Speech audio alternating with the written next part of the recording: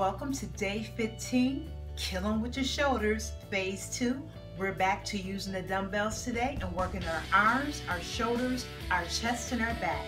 Let's get started.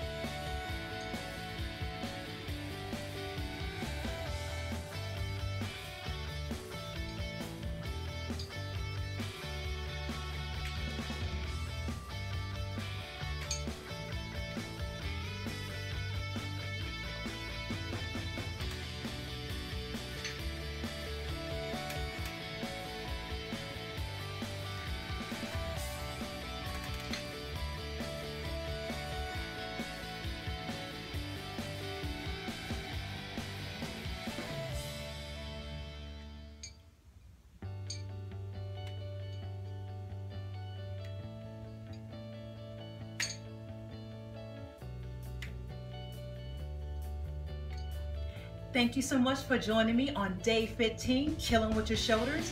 And until next time, love, peace, and stay fit.